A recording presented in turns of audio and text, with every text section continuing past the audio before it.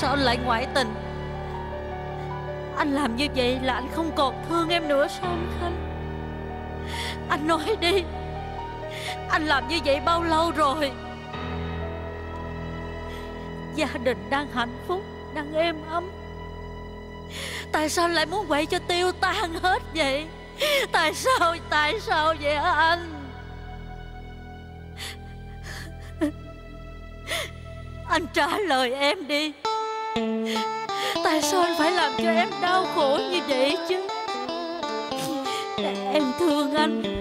Em thương anh quá mà anh Khanh Tại sao nỡ nào anh phản bội em? Tại sao? Thôi Cô im đi. Đừng hỏi dòng do dặn dẹo. Tôi không muốn thấy cái mặt của cô. Dù chỉ một phút một giây.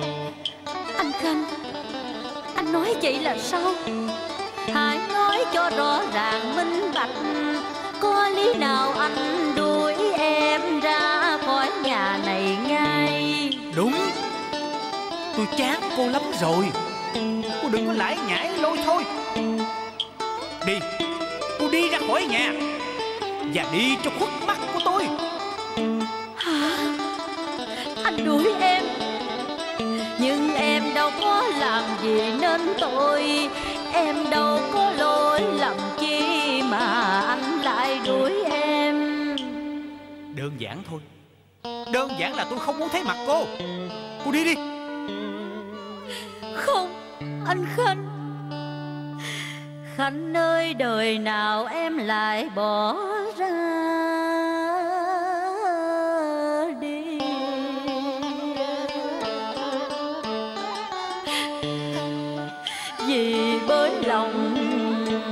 vẫn nồng ấm yêu anh Vẫn tha thiết không hề phai.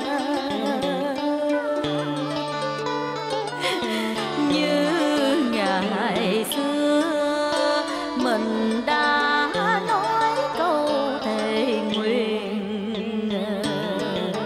Đừng khóc, đừng than. Vì tôi nay không còn rung động.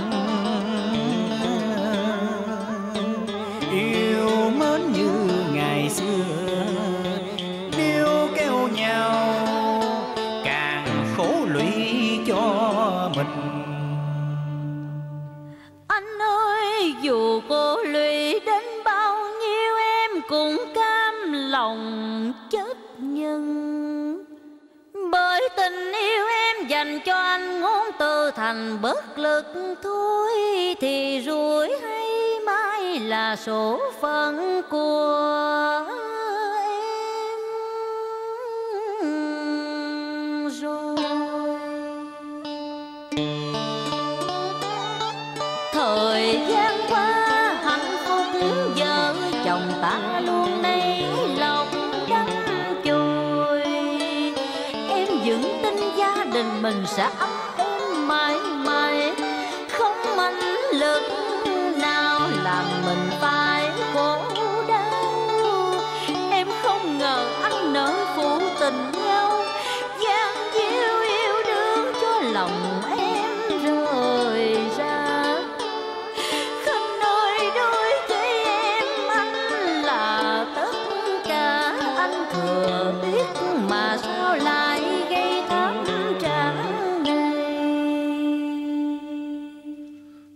đừng có giống dài nữa.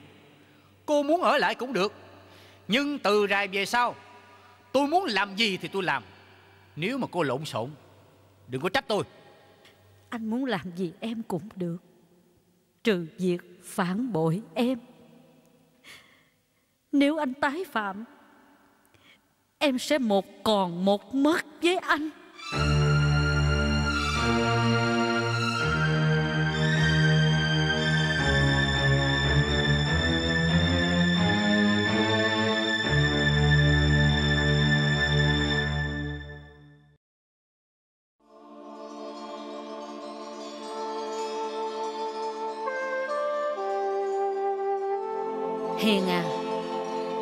Con nhớ ghé cây xăng Coi sổ sách rồi tính tiền giùm mẹ nha con. Dạ.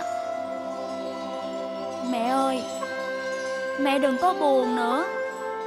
Mẹ buồn hoài, Con lo lắm. Mẹ à Thật tình con không hiểu tại vì sao. Bỗng dưng bà ba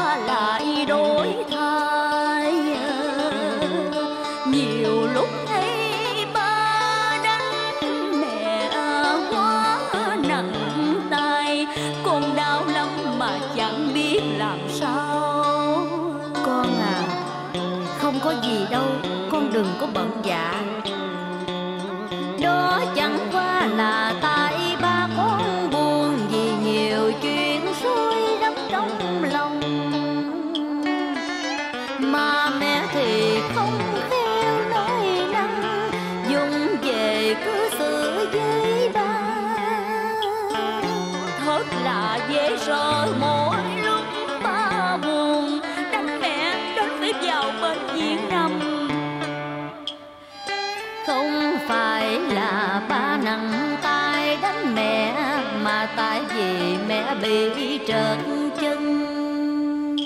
Phải rồi. Lần nào bị ba đánh, Mẹ cũng nói trợt chân nên té, Da đầu vào cạnh tủ.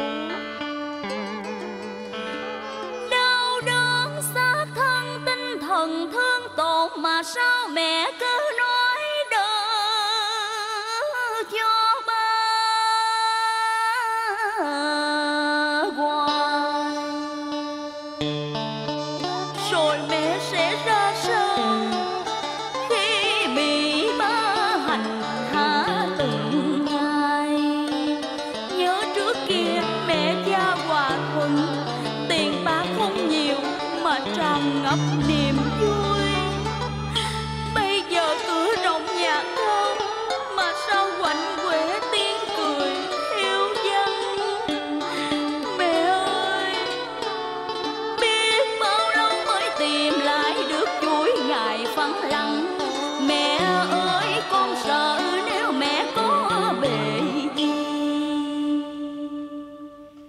không sao.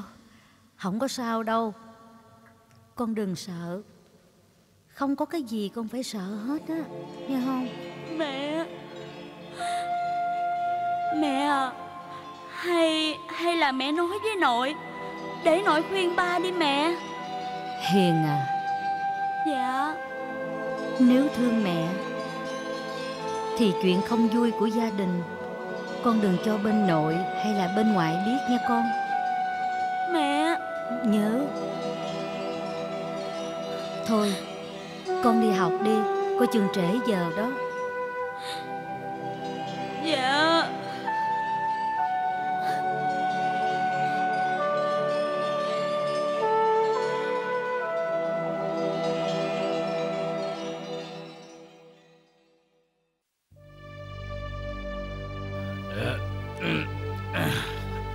Kìa anh Anh ngồi xuống đi. Nè ngồi đây nè. Để em lấy khăn em lau mặt cho anh. Ra ra. Ai cần cứu lên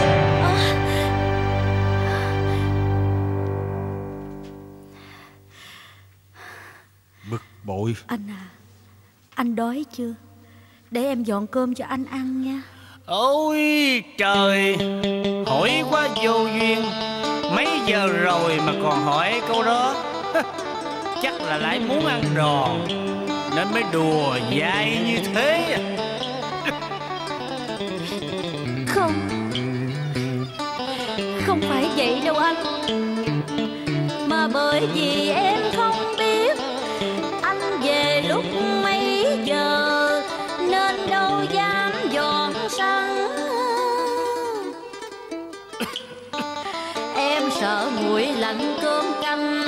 không ngon miệng lúc anh dùng. Boss. Cô cứ dọn sẵn trên bàn. Còn ngon hay dở gì Kệ tôi. Đã nhiều lần em dọn sẵn ra. Anh đầy la đánh mắng đủ điều Hất mâm cơm xuống đất Anh còn nhớ không? Bây giờ sao? Trả lời tay đâu với tôi hả Em đâu có trả lời với anh. Sao? Em chỉ nhắc nhở anh thôi. Làm sao em dám cãi tay đôi với anh? Sao? Chị nó không trả lời tay Ây Hả? Vô cơn lên Nhìn cái mặt này còn ưa Dạ. Dạ Để em dọn. Khoan Cái gì à Sốc đó hả Sốc phải không? Dọn cơm cho chồng thì phải vui vẻ Phải cười thật tươi. Thì ăn mới vô chứ. Đâu? Bây giờ bắt đầu. Cười thật tươi lên coi. Cười. Cười. Sao? Cười không được rồi da. Tao hiểu cười. Cười lên da. Cái hỏng người ra mình cười Cười đánh thật tươi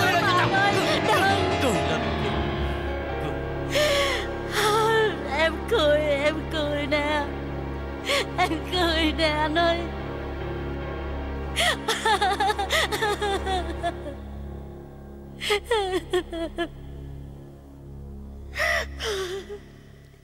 Ê, Mỹ đâu à?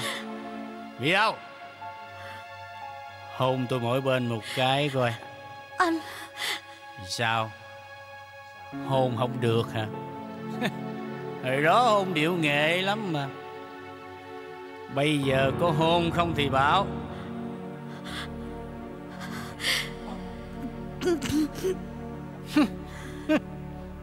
Hôn cái kiểu đó đó hả? Mặt tôi không đáng để cho cô hôn sao? Hả? Tôi nhớ không lầm. Hồi đó cô hôn cái mặt tôi nó móng móp Mà cô còn chưa muốn rời. Sao bây giờ? Hả? Sao vậy? Anh Ừ? Em yêu anh. Yêu Yêu Dạ Yêu. Dạ Ôi da. Yêu Yêu cái con Đâu khỉ. đâu Em lại anh Em lại anh. Mệt. Em lại anh. Nhìn cái mặt. Không biết hồi đó sao tôi yêu được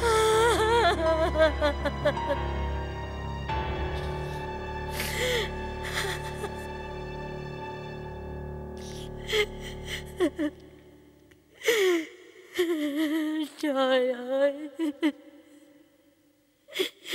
Sống mà đau khổ như vậy, Làm sao tôi chịu nổi nè, trời.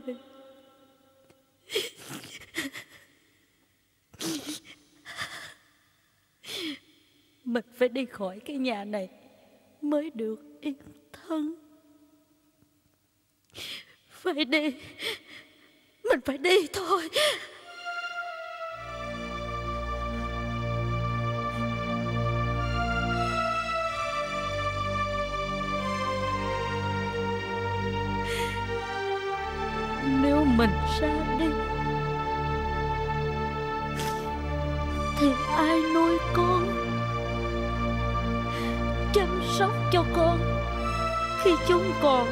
Nhỏ vậy.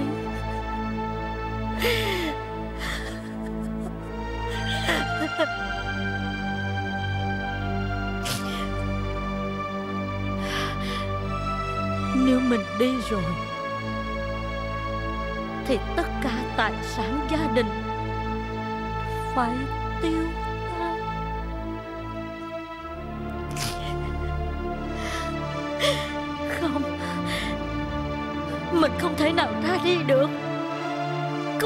nào bỏ con, Không thể nào bỏ chồng được.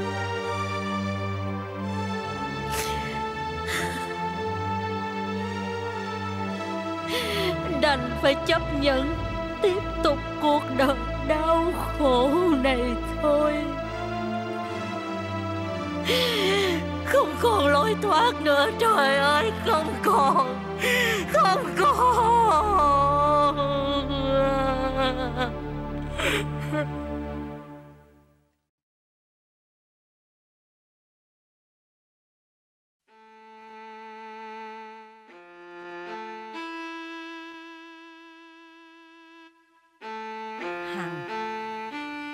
Hằng con. Dạ. Mẹ. Con Con đang suy nghĩ gì vậy? Dạ không có. Không có gì đâu mẹ. Con Con đừng có giấu mẹ nữa. Chuyện đã xảy ra lâu như vậy Mà tại sao Con không cho mẹ hay? Mẹ Tại vì con nghĩ Cha mẹ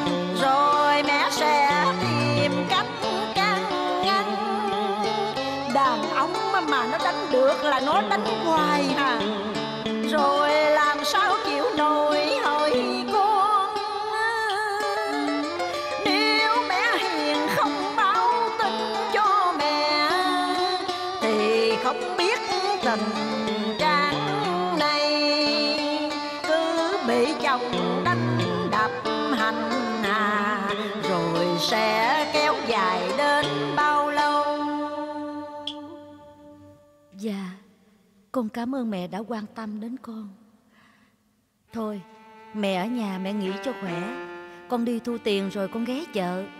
Hôm nay con sẽ nấu lẩu mắm cá lóc Món ăn mà mẹ rất thích đó.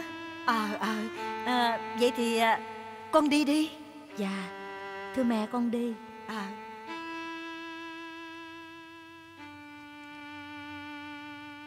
À, dạ chào bà. Dạ. Bà mới xuống tới á, phải không? Dạ Dạ phải. Nhưng Con Còn ông anh đây là? Tôi thứ năm Ở cách đây vài căn hả Mấy năm trước có gặp bà chị một lần đó. À À, à, à tôi, tôi nhớ ra rồi. Hồi đó đó Anh khen mấy đứa nhỏ nhà này á Từ một người ăn chơi trụy lạc Rồi khi thành vợ thành chồng Lại làm ăn siêng năng giỏi vắng đấy mà. Dạ Dạ đúng như vậy đó nhưng bây giờ thì chê trách chưa vừa. Nói ra đây thì tôi ấm ức, Xin chị đừng buồn tôi. Vì bóng dưng dường như là thằng con chỉ hư nhiều. Ngày ngày la mắng còn hành hạ cô Hằng. Bởi thằng Khanh nó lại có bộ tùm lum Dâu không được cô Hằng. Nó đủ vẻ liên miên, Chòm son bà con cũng buồn. Trời ơi cái thằng này lại Ngựa quen đường cũ. Từ lúc bị cô Hằng bắt gặp tại trận đến giờ Ngày nào nó cũng kiếm chuyện đánh cô Hằng hết á. Bà con chòm xóm Ai cũng chắc lưỡi hít hà hết. Trời ơi Thật là khổ thân cho con dâu tôi. Lâu lâu á chị à, mới tới chơi. Mà tôi đem cái chuyện buồn này nói với chị Tôi cũng ngại lắm Dạ không có đâu anh Năm ơi.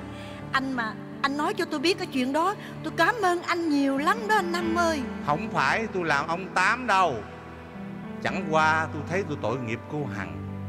Gia đình đang hạnh phúc. Vậy mà sắp sụp đổ vì chồng trở chứng. Bà chị coi có cách nào đó Giúp đỡ vợ chồng nó ha. Thôi tôi về à Dạ anh Năm về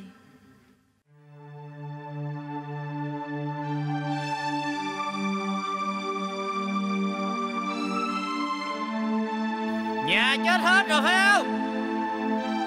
Sao không thấy cái mặt nào ra lo cho tôi hết vậy? Có mặt mẹ nè. Con muốn nói gì thì nói đi. Mẹ lo cho. Ủa, Ủa? Mẹ Mẹ đến nơi nào vậy? Chuyện đó không quan trọng. Mà quan trọng á, là tại sao con cứ sai sưa hoài Làm cho không khí gia đình mất vui vậy Sao mẹ biết?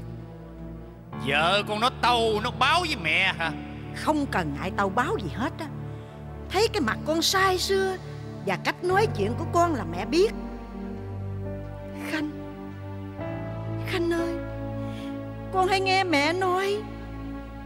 Con đã nghe mẹ nói rất nhiều rồi Nhưng mà cuối cùng quyết định vẫn do con.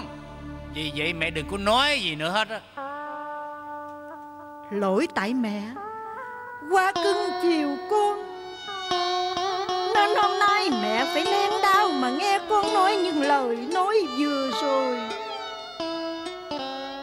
Nhưng dù muốn Dù không Con cũng nên nghe mẹ khuyên con. Mẹ nói đi. Khanh Con đâu có biết rằng Bao hối hận ăn năn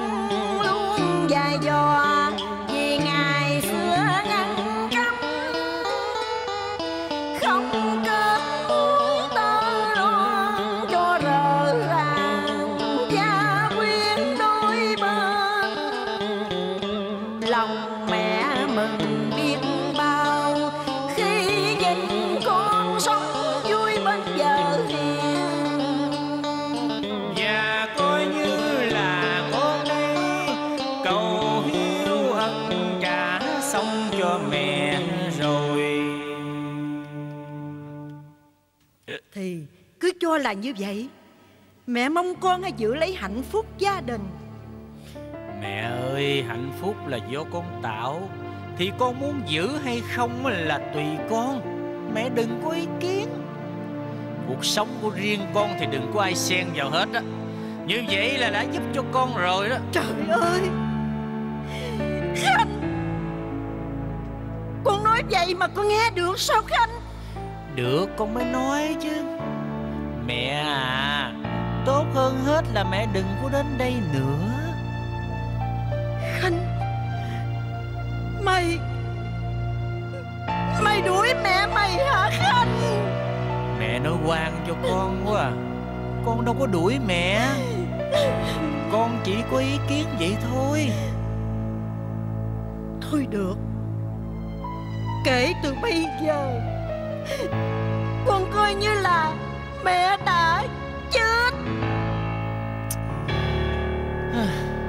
Ở ra là cằn nhằn Khóc lóc thở than. Mệt. Mẹ mẹ Mẹ ơi. Ủa Anh mới về hả? Nè Từ ra về sau. Tôi cấm cô than giảng với bất cứ ai nghe chưa? Em không có nói với mẹ em sao? Tin hay không là quyền của tôi. Nếu cô còn làm chuyện gì Hay nói năng phật ý tôi Thì đừng trách tôi nặng tay nghe chưa? Nghe chưa? Sao đây Anh làm cái gì? Hả? Anh làm cái gì vậy? Nhiều lần rồi. Tôi gì anh đánh em. Tại sao lại đánh em? Anh đi thì thôi Anh về tới là anh đánh tôi à. Nín Câm họng lại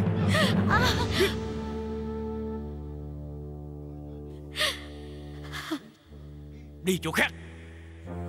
Đi chỗ khác. Tôi không muốn thấy mặt cô nữa. Đi chỗ khác bắt tôi.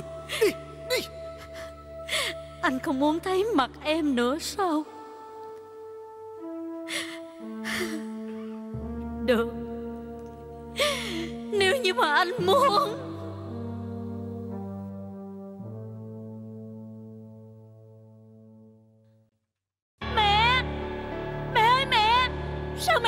Sâu tự tử vậy mẹ Mẹ ơi Ba Ba ơi Mẹ không uống thuốc tự tử kìa ba ơi. Cái gì Ai tự tử Mẹ Mẹ con Mẹ con uống thuốc trừ sâu. Ba ơi làm sao đây hả ba? Trời ơi. Mẹ con đâu rồi? Dạ nằm ở nhà sau.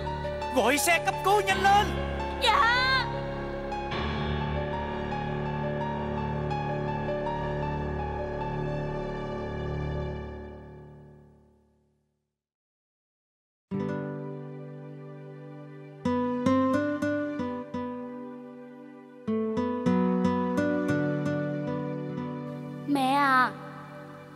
Đã ngủ sai rồi. Mẹ đừng có đưa nữa. Mẹ Mẹ ra đây với con.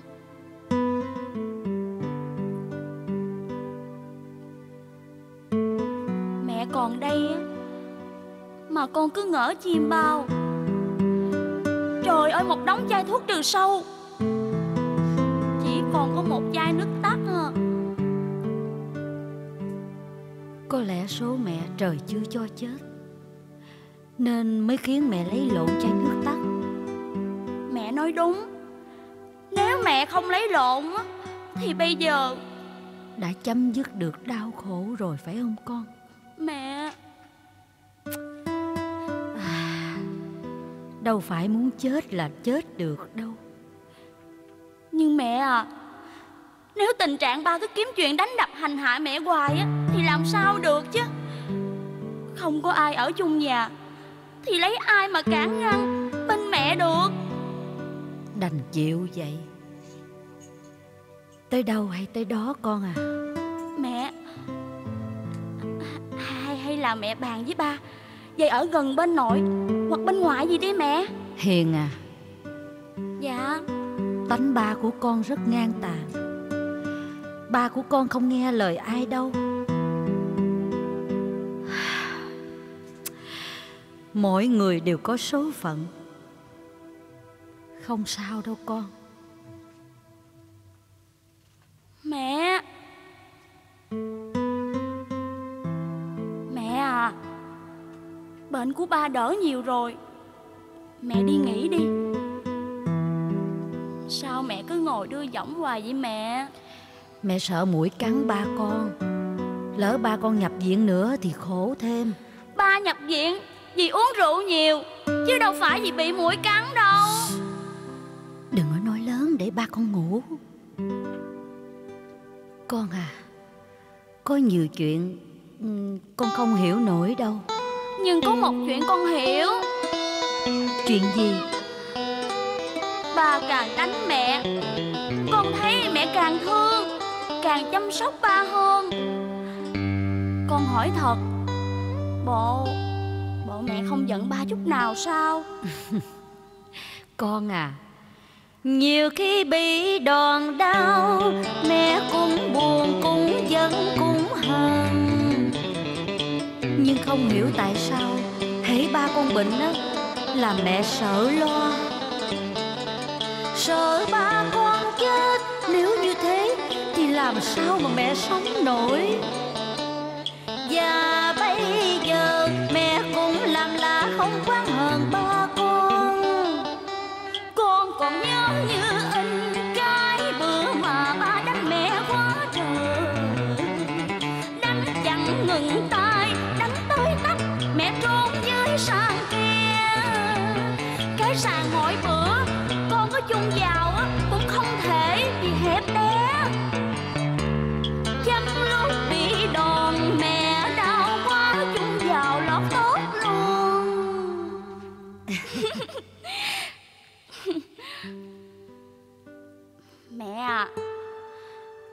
thì nói Mẹ cũng phải lo cho thân mẹ với chứ. Con thấy á, Món gì ngon Mẹ cũng để dành cho ba hết. Cá nhỏ phần mẹ Cá lớn phần ba. Mà điều khiến con rất là làm lạ Là Là đâu phải mẹ mua không nổi trái sầu riêng Mà cứ thấy ba thì ăn thịt. Còn mẹ thì nấu hột mà ăn. Sao kỳ vậy mẹ? Có gì đâu mà kỳ con. Đó là mẹ muốn chứng tỏ cho ba con biết Là mẹ thương yêu ba con nhiều lắm. Con thật không hiểu nổi. Đúng là giận thì giận Mà thương thì thương. Con nhỏ này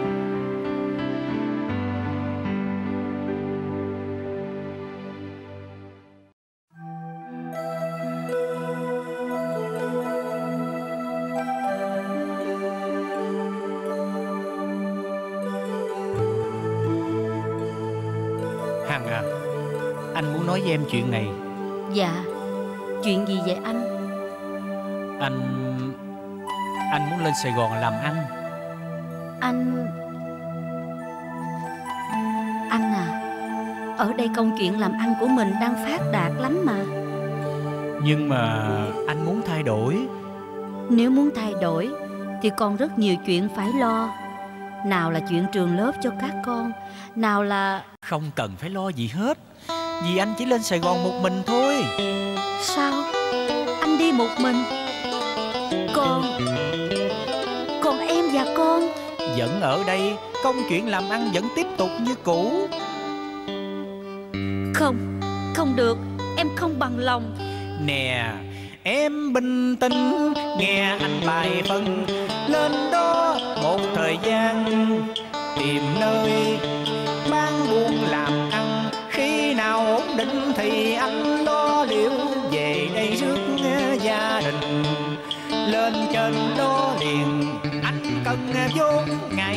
giờ đây. Nhưng em đã nói Không là không. Thì thôi Không nữa thì cũng chẳng sao. Cô đừng hối hận rồi Đi tự giận. Bởi cô Biết thừa Tôi là người như thế nào? Anh nói như vậy là sao? Tôi đã một thời gian phong lưu. Thiếu gì người đang mở rộng vòng tay chờ tôi bước đến. Như vậy thì Anh cứ bước đến với người ta đi. Anh đi đi. Anh đi đi. Cái gì? Cô thách tôi đó hả? Vậy thì đừng hối hận nha. Tiếc tiền thì mất chồng Vậy thôi. Anh Khanh. Anh Khanh.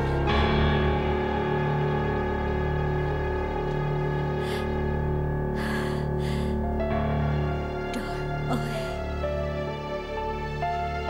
Khổ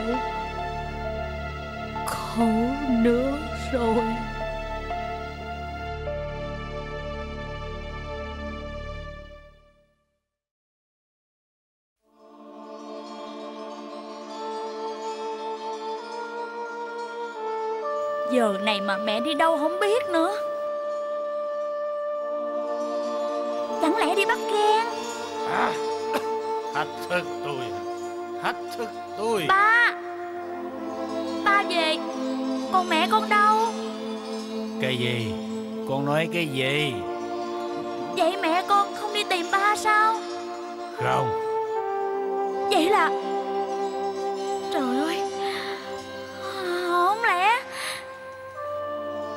Chuyện gì thì nói đại ra đi. Đừng có chẳng lẽ bực mình lắm. Khanh ơi Khanh Hiền ơi Hiền. Mau mau lên mau lên mau lên. Ông Năm Ông Năm ơi có chuyện gì vậy ông Năm? Chuyện gì nữa? Hiền Con đi mau đi. Người ta đang cấp cứu mẹ con ở đẳng á. Trời ơi mai mà nhầm lúc nước lòng á. Chứ nếu nước lớn nó cuốn mẹ của mày trôi đi Thì có trời mà cứu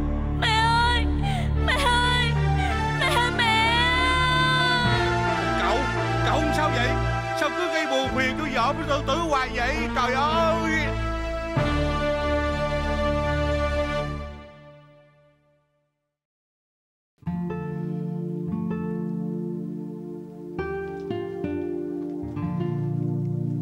Má Má thấy trong mình khỏe chưa? Nếu chưa thì con đưa má vô bệnh viện. Ôi, già cả rồi Muốn khỏe thì khỏe. Muốn mệt thì nó mệt. Có gì phải vô bệnh viện con Má Chắc tại má lo nghĩ nhiều quá. Nên trước số phận à, con người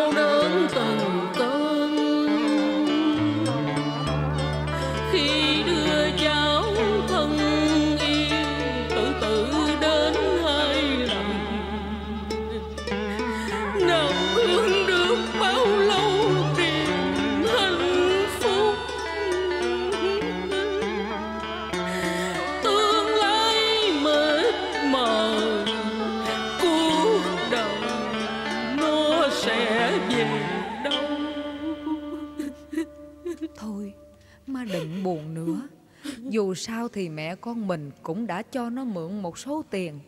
Con thấy rất vui má Con Hằng Chắc nó mắc nợ thằng Khanh Khổ lên khổ xuống Nó chết tới chết lui.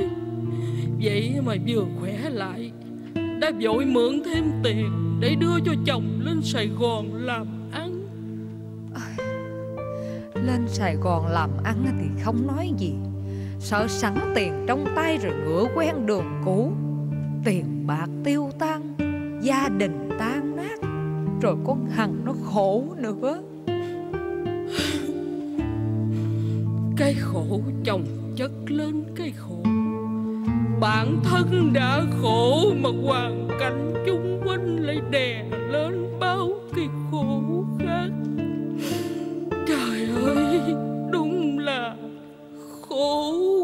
khổ mà.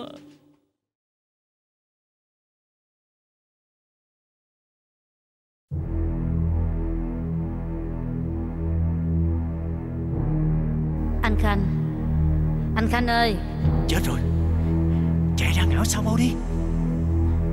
Anh Khanh Mở cửa. Mở cửa đi anh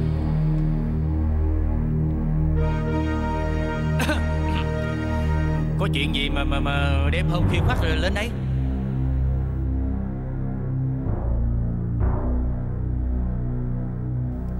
Anh chưa ngủ. Mà sao em kêu cửa anh không mở liền? Ừ, Sao em biết anh chưa ngủ. Nếu anh ngủ Thì tại sao anh không đóng cửa sao? Ờ ờ, ờ, ừm, Thì thì tại quên. Vậy cũng hỏi. Anh quên Hay là anh đã mở cửa cho nó thoát thân? Nè Nó nào? Đừng có ăn nói hầu đồ nghe. Vậy cái đôi giày này là của ai? Ờ, của, của, cô Liên Bồ của bạn anh. Vậy là tụ tập ăn chơi nữa hả? Như vậy không phá sản sao được? Ừ, thì, thì, thì tại làm ăn thua lỗ. Chứ tụ tập ăn chơi hồi nào đâu? Bạn bè thì lâu lâu mới gặp Nếu anh làm ăn thua lỗ Thì sáng mai Em sẽ đưa tiền cho anh trả nợ. Rồi vợ chồng mình về quê đi anh. Mình sẽ làm lại từ đầu. À, không, không, không, không Tôi không về quê đâu. Tôi quyết tâm lập nghiệp ở trên này rồi. Anh Anh nghe em nói nè. Anh đã nói là là không về dưới quê rồi. Còn nói gì nữa? Bực mình quá đi. Kìa anh Anh Anh bỏ đi đâu vậy? Anh Khanh anh Khanh. Cô ơi, Cô có sao không? Hả? Phải Hằng không? Tuyết. Trời ơi, Tuyết. Hằng, Tuyết. Trời ơi, mình mừng quá. Hằng ơi, mình mình mừng lắm á Hằng ơi. Khỏe không? Hằng sao rồi? Hằng cũng khỏe chứ. Cảm ơn Tuyết. Trời ơi, Muốn liên lạc với Hằng lắm Mà không có biết địa chỉ. Mà Hằng nè, Hằng với cậu Khanh á, Sao Vợ chồng mình vẫn sống tốt? Chỉ vì anh Khanh anh muốn lên đây làm ăn Nên phải tạm xa nhau.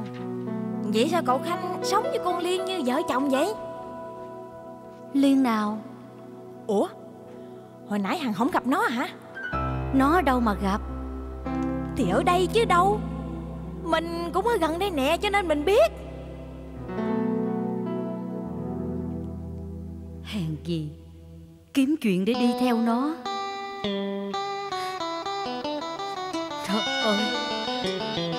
Sao tôi lại khổ như vậy? Tại sao tôi lại khổ như vậy chứ? Hằng à Hằng ơi Hãy bình tĩnh đi. Mình khổ Khổ lắm Tuyết ơi. Biết biết. Đừng có khóc nữa.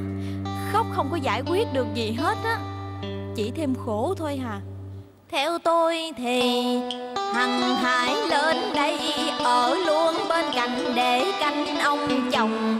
Bằng không, chồng mất như chơi, Con nhỏ này đẹp á, Lại nói năng rất là ngọt ngào. Hèn gì anh nhất định không về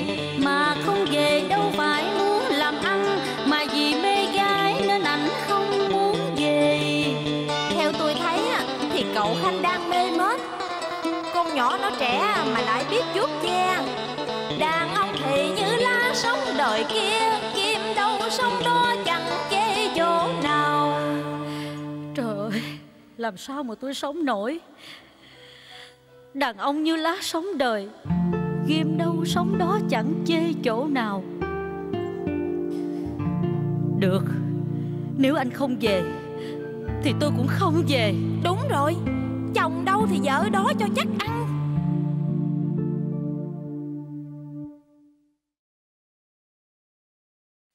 Hằng ơi!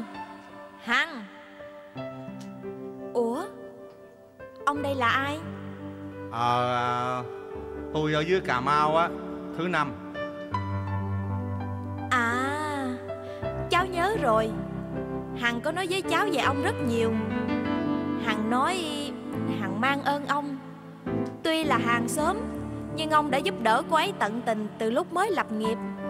Bây giờ còn lại trông coi nhà ở dưới quê nữa nhưng tôi ờ, thì không giúp được cổ thu hồi tiền xăng mà người ta thiếu cổ.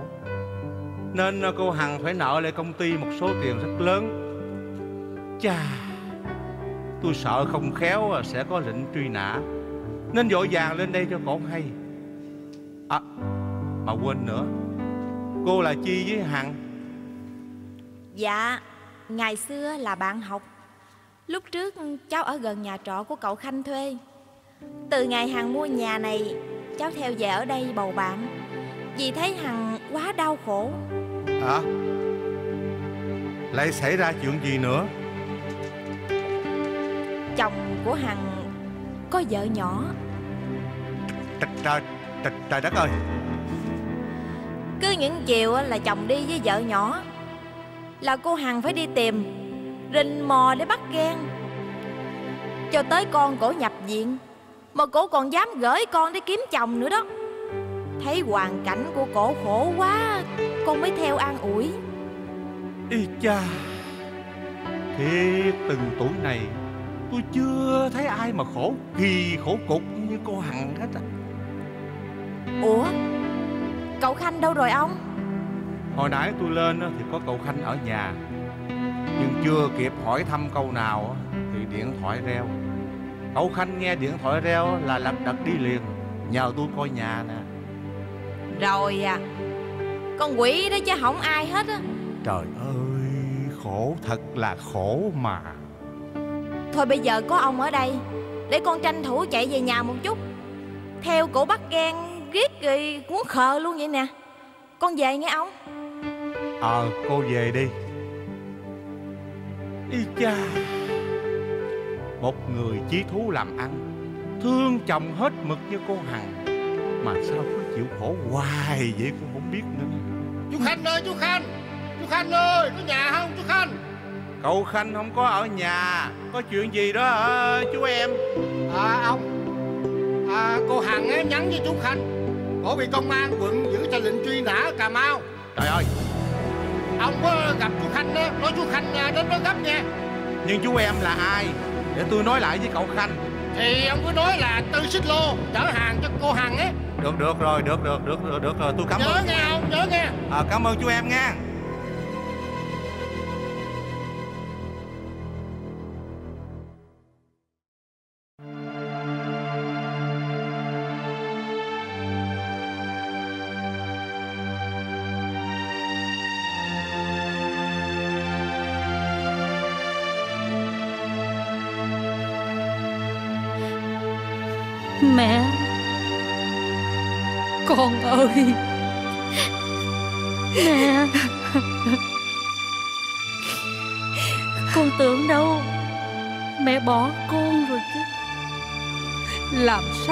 bỏ con được.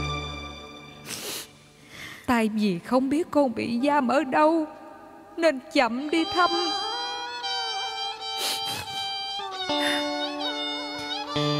Tại con liên tục bị đổi chỗ giam. Có lẽ vì vậy Nên anh Khanh anh cũng không biết chỗ để thăm con. Khổ lắm phải không con Con khổ lắm mẹ ơi. Hằng ơi.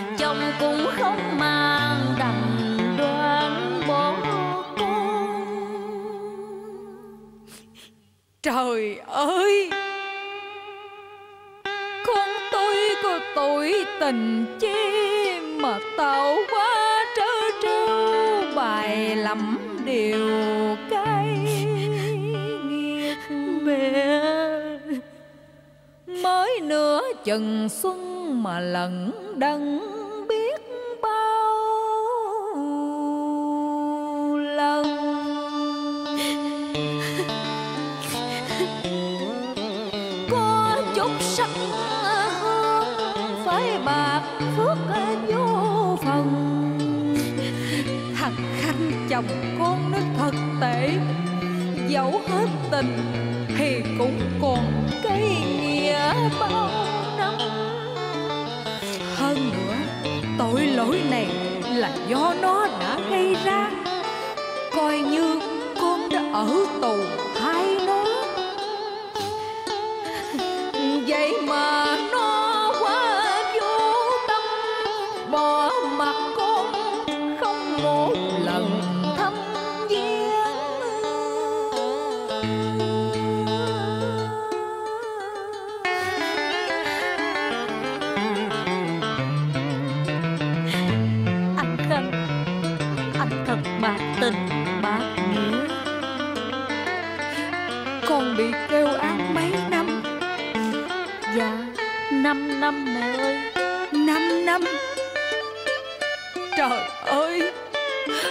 đối xử với con như vậy?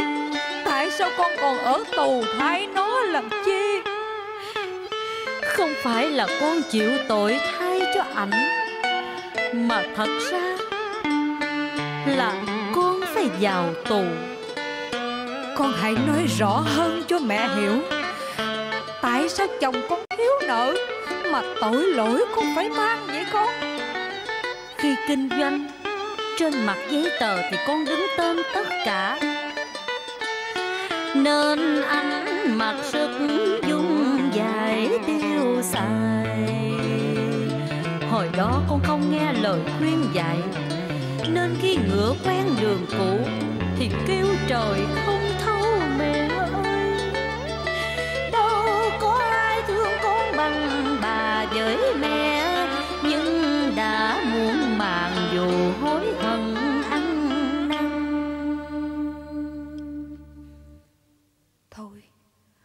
con ráng cải tạo cho thật tốt để được giảm án sớm về nhà thu xếp chuyện gia đình nghe con. Mẹ ơi,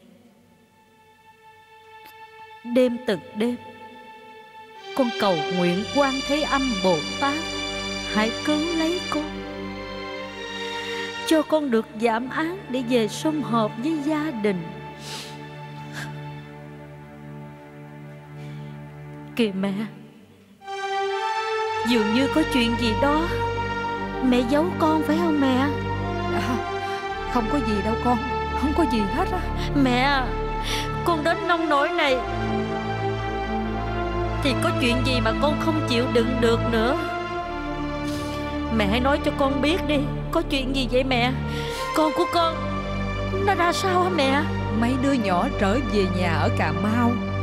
Có chú năm dòm ngó săn sóc giùm còn căn nhà con mua ở quận 10 trên thành phố. Nghe đâu, chồng con nó bán rồi Rồi nó sống với người đàn bà đó luôn. Đã có con nữa.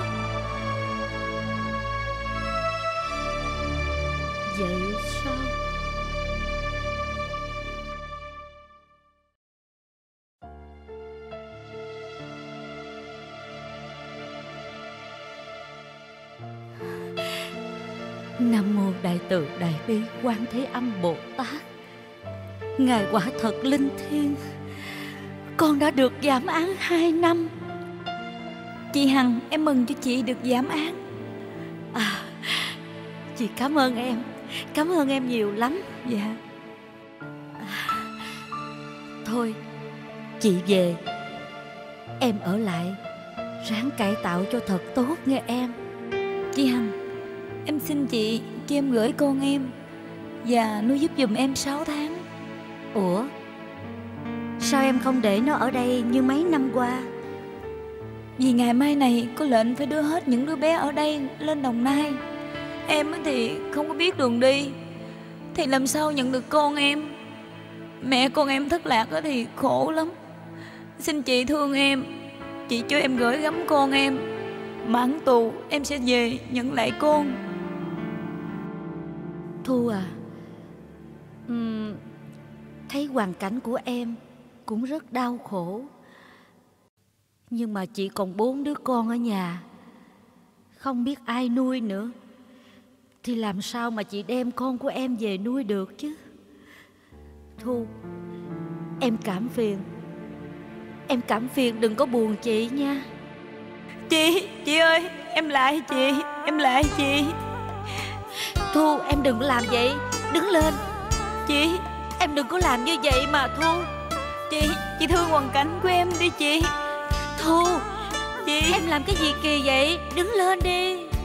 Hãy thương tình Mà dưỡng nuôi con khờ.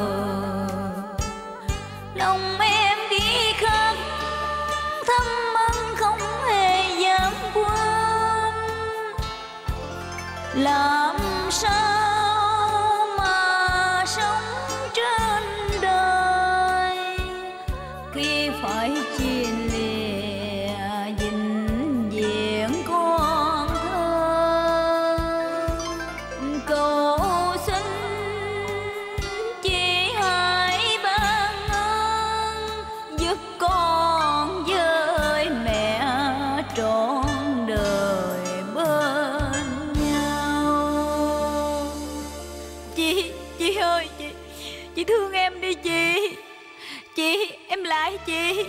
được rồi, em đừng làm như vậy nữa. Đứng lên, đứng lên đi em.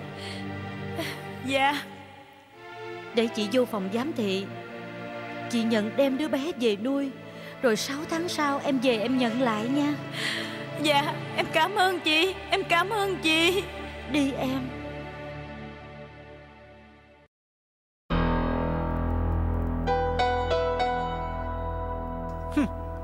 Cô trách gia đình tôi là cô ở tù không có ai thăm nuôi. Cô trách tôi bạc tình, Bạc nghĩa. Còn cô thì sao? Hãy thành thật nói tôi nghe. Tại sao dám đem đứa bé về nhà? Có phải là cô Có cặp, Có đôi Khi xa dắt tôi không? Trời ơi trời, anh du quan giá bà để quá lắm chuyện anh làm. Anh có vợ nhỏ tùm lum phải như vậy hay không? Cô trả lời tôi đi Đừng có bắt hoàng này nọ. Khi không khi không Mà có đứa bé sao? Em đã nói rồi mà anh chẳng chịu tin. Nó là con của cô bạn tù Nhờ em nuôi. Nếu còn nghi kỵ xuống trại giam nói lại Đừng hành hạ em. Xỉa xối rồi kiếm chuyện nói này nói nọ. Tôi không có rảnh Đem đứa nhỏ về giống như là là, là ma trù vậy đó. Bệnh hoạn khóc la bất kể ngày đêm. Thì con nít nó xa mẹ Nó nhớ mới sanh bệnh nên nhõng nhẽo. Anh không bằng lòng Thì em đã đem gửi cho mẹ em nuôi rồi. Em nuôi em làm phước. Em không màng cực khổ Vậy mà anh có để cho em yên đâu. Mấy tháng trời Chỉ có chuyện đứa nhỏ hả Mà anh cứ cay đắng anh hạch xích em đủ Hạch sách đủ điều hả Làm sao tôi tin nổi một người đã có cái quá khứ ăn chơi phá phách? Nhất là đùa giỡn với tình yêu như cô. Cô thật là nhẫn tâm mà. Đã làm tan vỡ một tình yêu thật đẹp. Còn khiến người ta phải tự tử chết nữa chứ. Như là cái cái cái cô Yến đó đó. Anh im đi. Đó là chuyện của thời ăn chưa no lo chưa tới. Nghĩ suy bồng bột. Biết đâu thời gian sau này Cô cũng bồng bột hơn nữa thì sao? Anh đừng có suy bụng ta ra bụng người. Anh Khanh Bây giờ anh muốn gì? Anh cứ nói thẳng ra đi. Tại sao anh cứ hành hạ em hoài vậy? Bữa nay là đúng 6 tháng rồi. Nếu không có người đến đem đứa nhỏ đi Thì tôi và cô coi như chấm dứt. Anh nói vậy là sao? Tôi và cô ly dị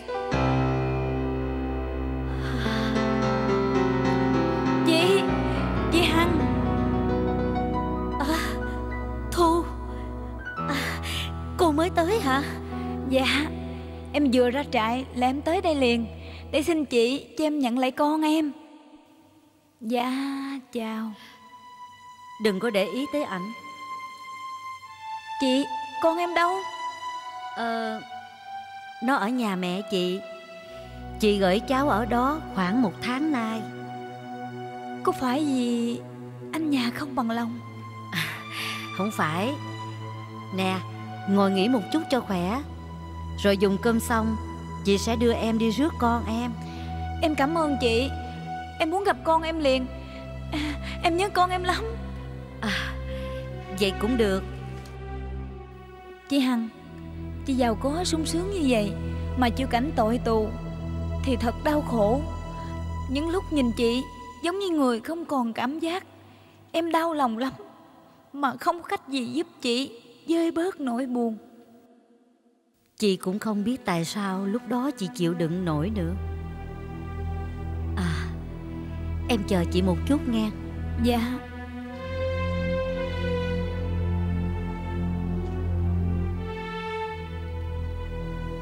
Thu Dạ. Chị gửi em chút ít tiền Để về làm vốn nuôi con. Không Không Em không dám nhận đâu Chị đã cưu mang con em mấy tháng trời cực khổ. Em còn chưa cảm ơn chị. Nè Nếu em không nhận thì chị buồn đó. Hoạn nạn giúp nhau thì mới quý chứ. Em cất đi. Dạ Em Em cảm ơn chị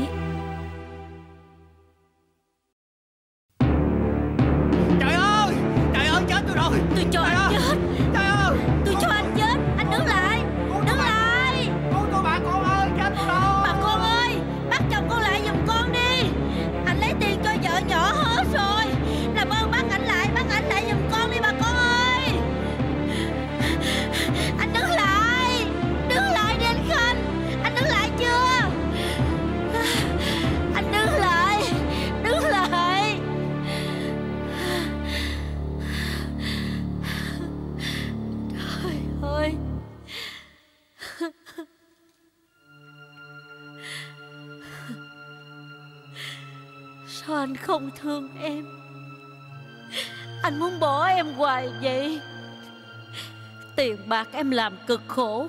Sao anh cứ lấy đem nuôi người ta Thì làm sao em chịu nổi? Trời ơi! Trời ơi, có thuốc gì uống cho tôi hết ghen không? Tôi ghen hoài chắc tôi chết. Làm sao tôi sống nổi đây? Anh Khanh, Anh ở đâu? Anh ở đâu rồi anh Khanh ơi?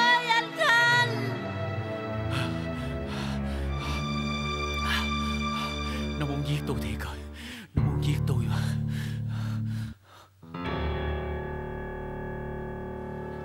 Anh Khanh Anh Khanh ơi anh về Về với em. Anh đừng bỏ em. Về để để cô giết tôi hả? Ôi da. Tay anh chảy máu nhiều quá. Anh Anh đi về Về đi Để em băng bó vết thương cho anh. Đi anh Đi. Thôi đi. Cô muốn giết chết tôi thì còn băng bó làm gì nữa? Không có. Em không bao giờ, Em không bao giờ muốn giết anh. Em không bao giờ đâu. Anh ơi, tại vì em thương anh sâu đậm.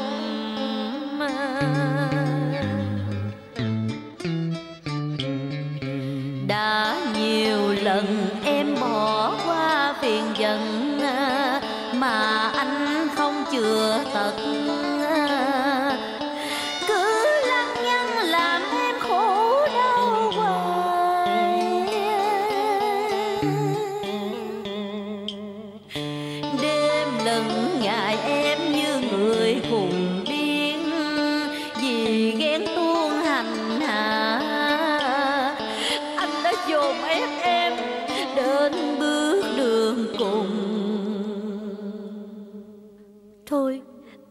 nhà đi Để em băng bó vết thương cho anh. Tôi, tôi, tôi, tôi, tôi không cần cô lo cho tôi. Anh Khanh Em lại anh mà. Tại vì em ghen quá Chứ đâu phải em không thương chồng. Về Về nhà đi anh. Tôi, tôi, tôi, tôi nói là tôi, tôi không về là, là, là tôi không về. Đừng, đừng có lải nhải nữa. Nếu anh không về thì anh ngồi đây, anh điện cho vợ nhỏ của anh xuống băng bó vết thương cho anh liền đi. Máu ra nhiều quá kìa. Cũng tại em ghen. Chứ nếu mà em muốn giết anh, Thì em đã lấy dao bén em đâm anh chết rồi. Thôi, em về. Anh điện thoại đi. Điện cho người ta đi.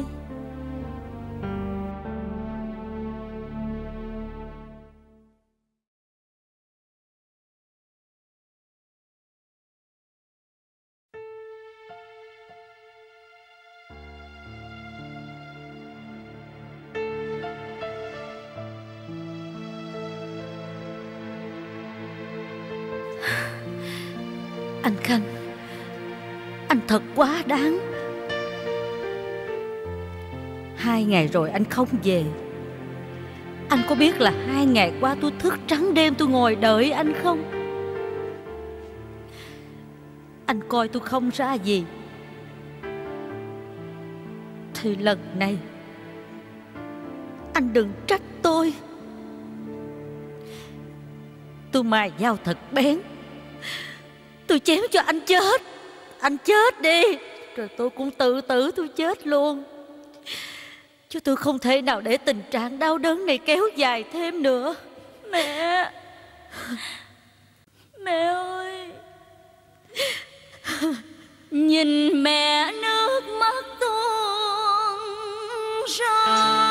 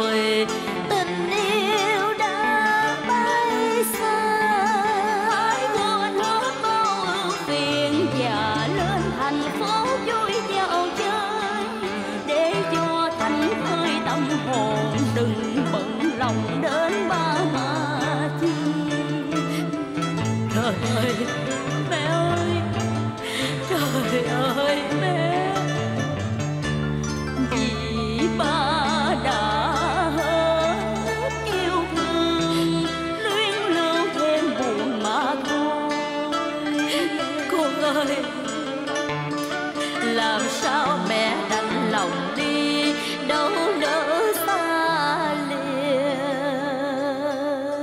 con Mẹ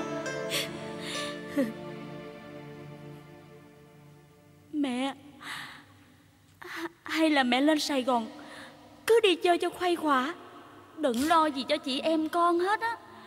Dù sao cũng còn có ông Năm Mẹ đừng vì một người chồng không tình nghĩa Mà đau khổ như vậy. Lỡ mẹ gây án Ở tù Thì chỉ có chị em con Và mẹ khổ đau mà thôi à. Con. Mẹ Mẹ ơi.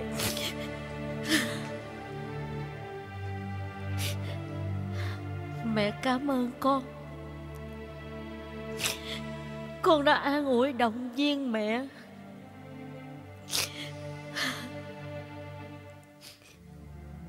Được. Mẹ sẽ làm theo lời của con. Mẹ sẽ rời quê. Mẹ lên Sài Gòn. Mẹ bỏ ngoại con. Bỏ mẹ của mẹ. Mẹ. Và mẹ bỏ các con mà đi. Mẹ ơi. Đi trốn cái đau khổ. Cái đau khổ cứ đeo đặng mẹ hoài Không chịu buông tha mẹ. Mẹ ơi. Mẹ đưa dao cho con. Đưa cho con đi mẹ. Mẹ. Con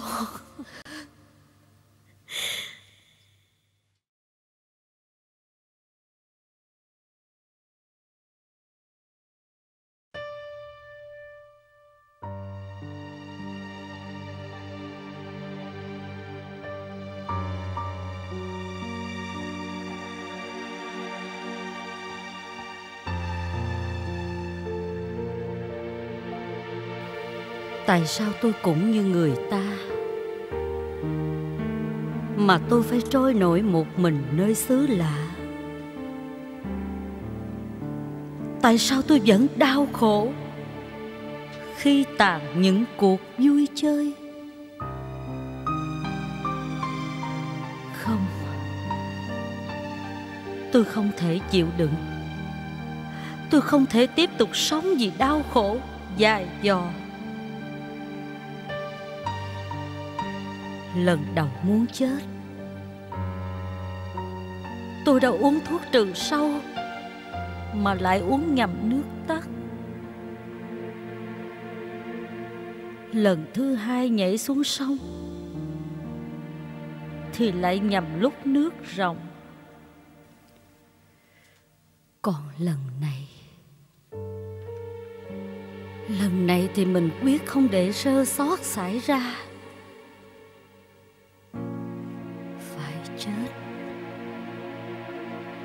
Phải chết thôi. Hôm nay, đây là giây phút cuối cùng mình còn ở thế gian. Sau đó, thì tất cả mọi sự đau thương, thống khổ đều rũ sạch. Ai mà giống Hằng dữ vậy cả? Trời ơi!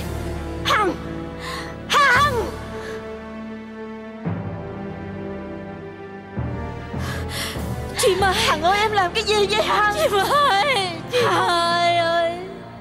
Chị Mai. Hằng ơi là Hằng. Hằng Chị nghe em đã có gia đình Và lập nghiệp ở Cà Mau. Mà sao em lang thang một mình ở đây vậy? Em quá tuyệt vọng rồi chị Mai ơi. Em khổ quá chị ơi. Có chuyện gì mà em tuyệt vọng Em nói cho chị nghe đi. Nói đi em. Chị ơi, Bây giờ em không còn con đường nào thoát trong tối tâm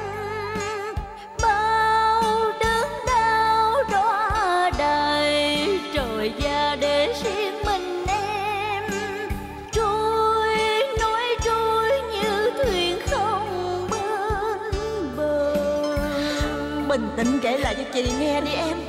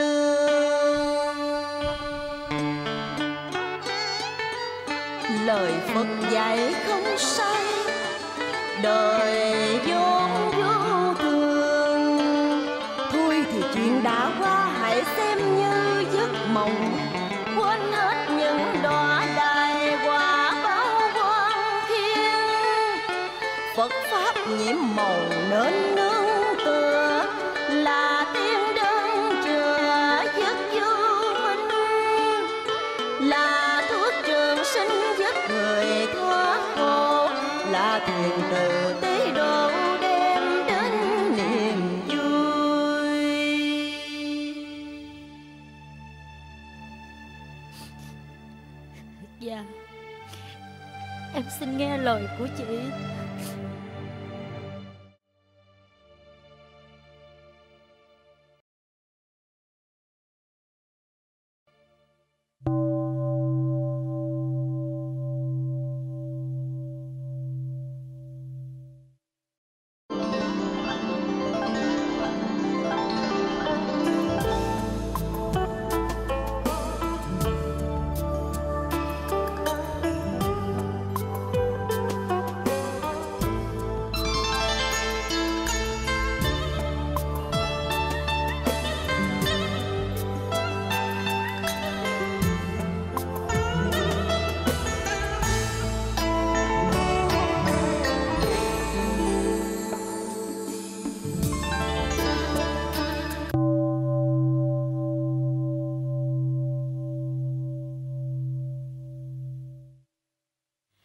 Chị Mai ơi, em nghe thầy Tích Tâm Khải thuyết pháp, trong lòng em bớt buồn rồi.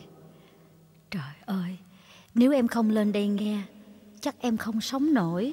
Trời ơi, như vậy là được rồi đó Em cảm ơn chị nhiều lắm. Có gì mà cảm ơn Em hãy làm theo lời thầy giảng lúc nãy Và hãy siêng niệm Nam Mô A Di Đà Phật Để cho trong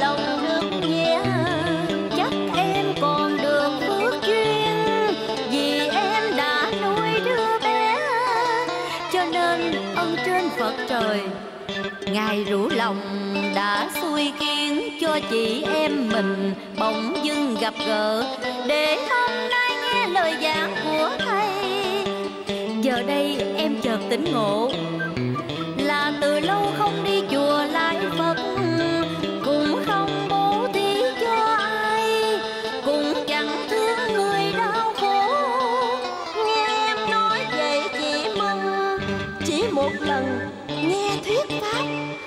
Tỉnh ngộ liền. Theo chị nghĩ em sẽ mau dứt khỏi mê lầm.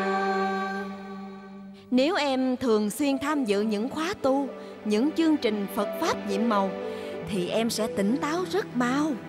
Dạ, em xin nghe lời của chị.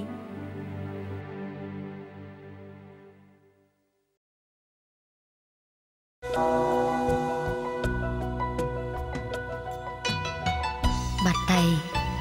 từ ngày vào chùa Hoàng Pháp nghe thầy giảng, con càng hiểu xa về môn tịnh độ, giúp cho con được bình an. Mà suốt bao năm qua con đắm chìm trong đau khổ.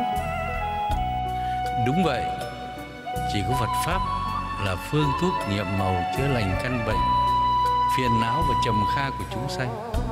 Nghiệp nhân, nghiệp quả cứ đi theo chúng ta như hình với bóng.